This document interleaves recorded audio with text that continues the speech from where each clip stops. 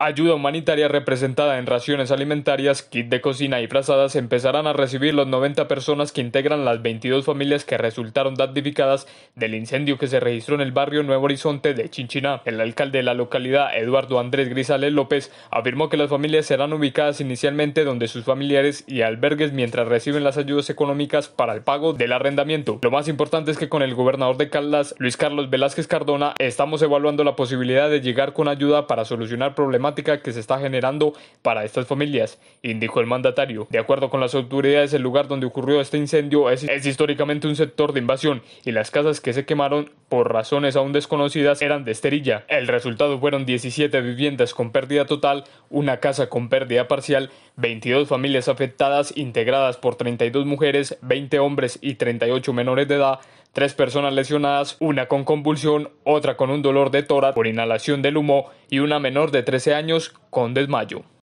Campesinos de la vereda Las Delicias en Belalcázar Caldas avistaron una serpiente anaconda o guío negro. Organismos de socorro, defensa civil, bomberos de Belalcázar y lugareños participan en la búsqueda de este reptil, ya que no era una especie de la región y por ello podría ocasionar daños al ecosistema. Asimismo hacen un llamado a los pobladores para que reporten de inmediato si la ven.